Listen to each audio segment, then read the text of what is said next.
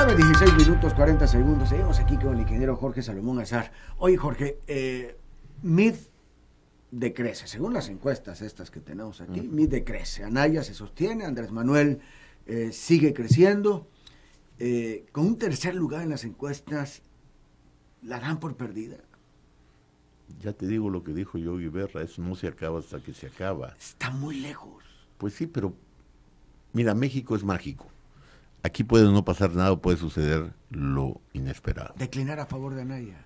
Lo veo muy, muy cuesta arriba. Yo creo que va a ser al revés. No se trata de no Yo dejar creo que pasar sería al revés. Manuel. Yo creo que sería al revés. Pero ¿cómo? Yo creo Si que, se- lleva más que de lo que debería de, de tratarse es de escoger al mejor eh, preparado para conducir los destinos del país. Oye, este. Mira, el país, el periódico español, También se equivoca. Lo leo mucho, lo leo casi todos los días. el financiero, ¿Ah? habla de que esta elección este es Chuy, irreversible, estos Chuy, resultados. Chuy. Esta, esta, perdón, este resultado y no y no y no y no quiero que se interprete como una falta de respeto pero los medios también no dejan de ser empresas y tienen sus propias agendas Y- en México y en el mundo. ¿Me quieres decir que No, la están cuchareando? pues te estoy diciendo que no dejan de ser empresas y que las empresas también tienen sus agendas Que económicas y Que políticas se quieren poner bien con el PG.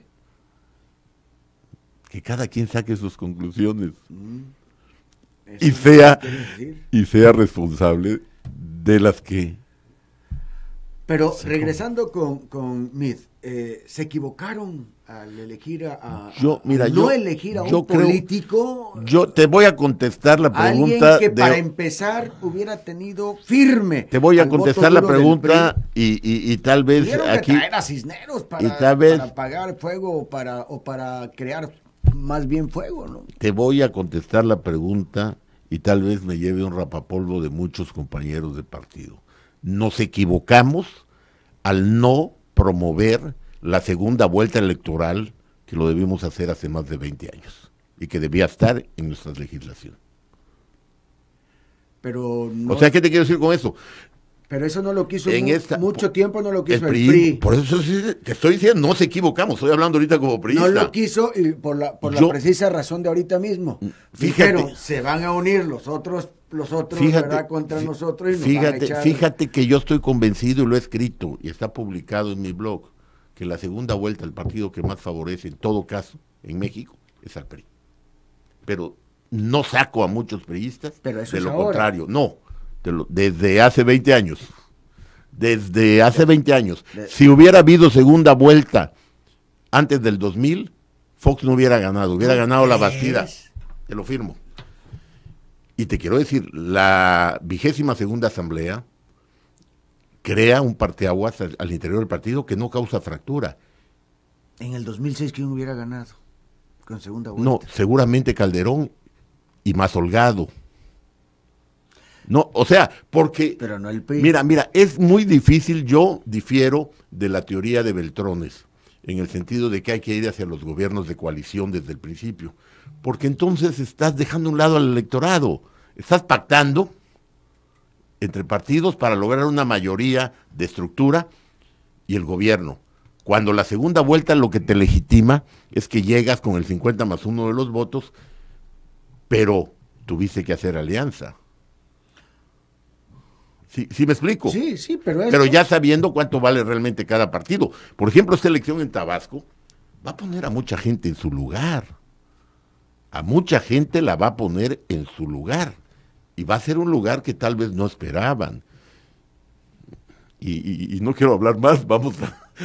Hay que esperar el resultado. A ver, Sí, a, ver sí. a ver, a ver. Y luego vamos a ver cuáles son esos lugares de los que Sí, claro, claro. Vendré cuantas veces me Oye, invites claro, a platicar claro que sí. contigo. Oye, este, eh, pero están, eh, yo veo a los candidatos hoy eh, eh, en una competencia de ofertas, mientras Andrés Manuel le ha bajado a sus ofertas, eh, Mid y Anaya han subido sus ofertas. El otro día decía Andrés Manuel, sí, claro, es que como ellos no van a gobernar, pues pueden triplicar y y quintuplicar lo que están ofreciendo, pero como yo soy a gobernar no puedo ser Por eso responsable. te, te decía hace rato que yo apelaría a que ojalá y la mayoría del electorado razonara su voto y no lo emitiera con la cabeza caliente, molesto, o con el hígado, o nada más con el corazón porque le gusta el candidato, pero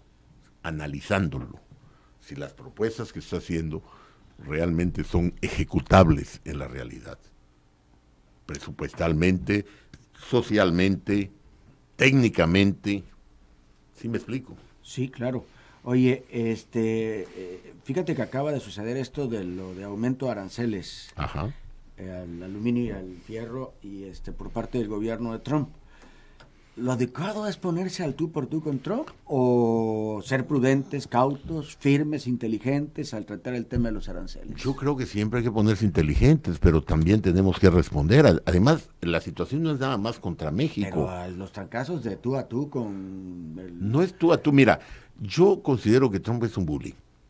un, un bullying. Un bully. Ajá. Un bully. Le gusta, y él lo ha dicho, yo negocio presionando y agrediendo, a ver si le, si le gano el, el- el- El salto. el salto.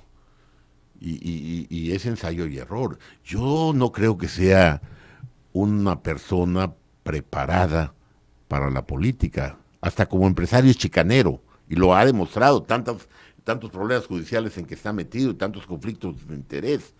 Pero bueno, esto de los aranceles no es nada más contra México, es contra Canadá, contra la comunidad eh, europea. Y ellos están reaccionando y van a reaccionar. Y yo creo que México está reaccionando con inteligencia también. O sea, con diferenciación. Ah, ok, me vas a poner aranceles a algo que ya estaba resuelto.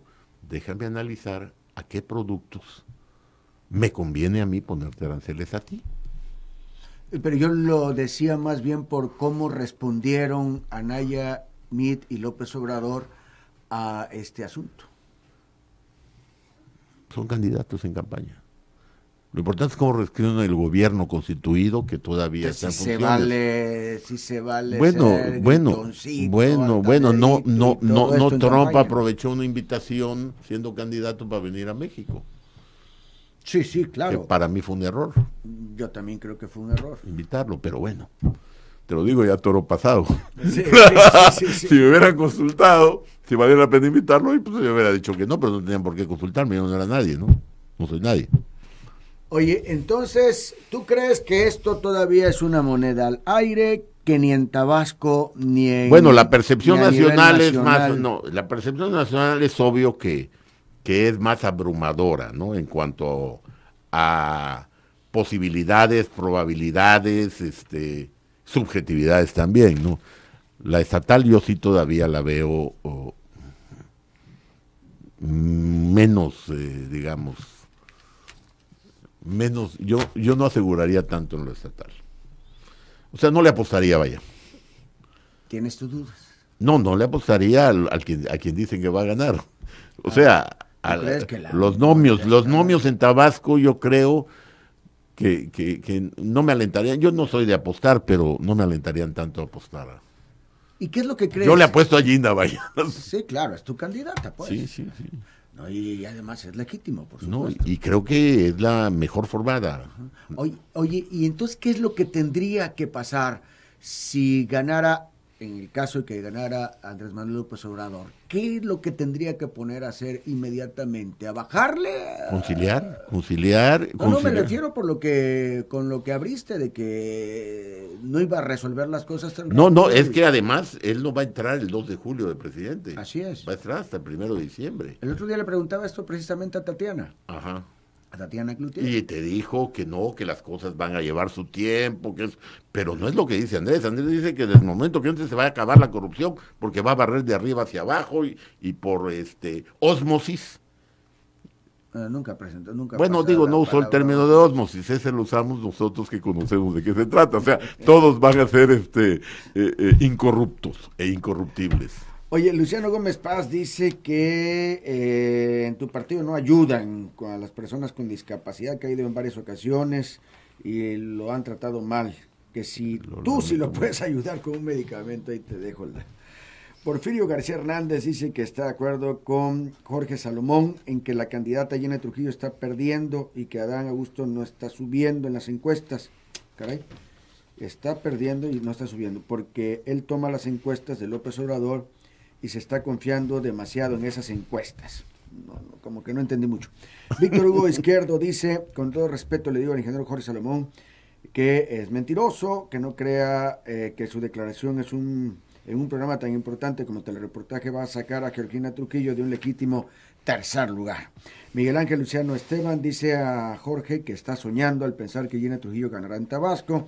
La licenciada Aurea Pedrero dice que ella está esperando que gane Andrés Manuel, pero no para hacer, echarse en una hamaca, sino para redoblar esfuerzos porque confía plenamente en él.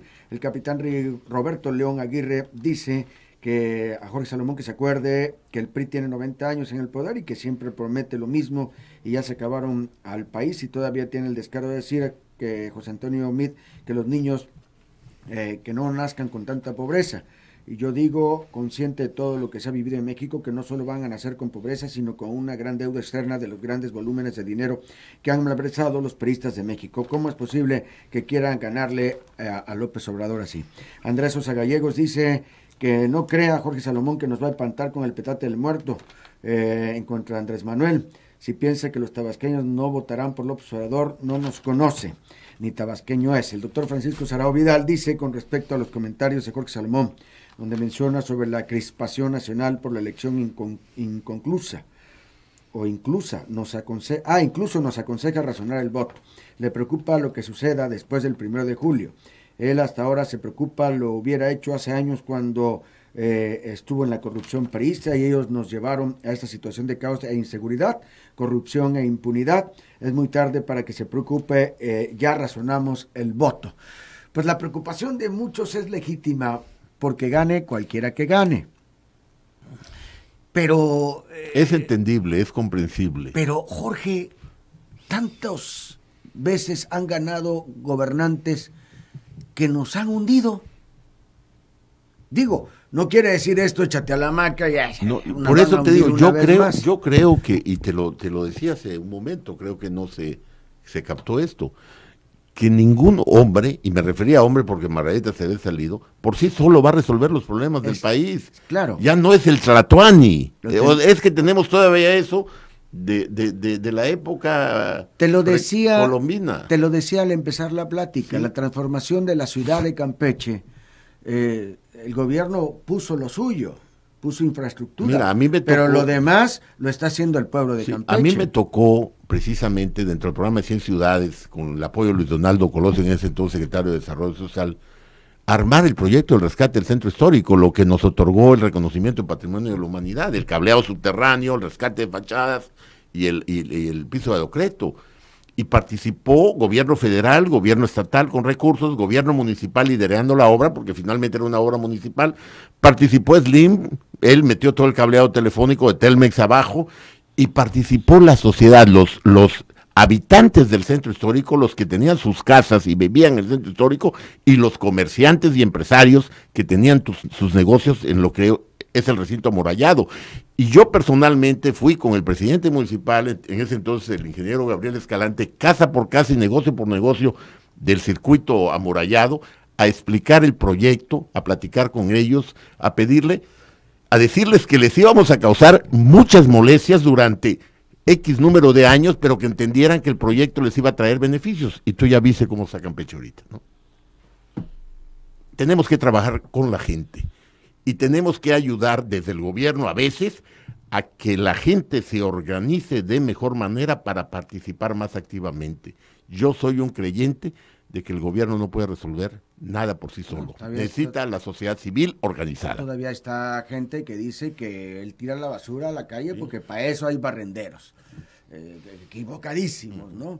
En fin, eh, yo creo que cuando un pueblo entiende que le toca hacer su parte, en ese momento las cosas empiezan a cambiar. Y ninguno que gobierne un estado, un municipio o un país va a hacer así nada más, ni por arte de magia, ni aunque le ponga todos los medios eh, que esto cambie si no hay ciudadanos que hagan lo suyo. Así es. ¿Mm? ¿Con qué reflexión nos dejas, este Jorge? Bueno, eh, primero que nada que vivimos ya una democracia plena en México y eso hay que reconocérselo a los gobiernos que hemos tenido de los partidos. Asisten los partidos tan desacreditados como están no solo en México, sino en el mundo. La institución política... acaba de pasar en España. bueno, ve lo que pasó en España con el voto de censura. Quitaron al presidente en un día aunque los partidos políticos son la institución más desacreditada y en segundo lugar le siguen los cuerpos legislativos, es decir, el Congreso la Unión, los congresos estatales, y eso es en México y en el mundo, tenemos que fortalecer las instituciones, porque a través de las instituciones es como se madura y fortalece la democracia. Esa sería mi reflexión. Muy bien, pues yo agradecerte que... ¿Va a haber fraude? ¿Hay la posibilidad de que habrá fraude? Yo creo que no. Yo creo, yo no veo cómo, vaya, no, no, no. Te voy a decir que. Si esto cierra igual. Yo no entiendo de eso. Yo ah. te digo sinceramente, vaya.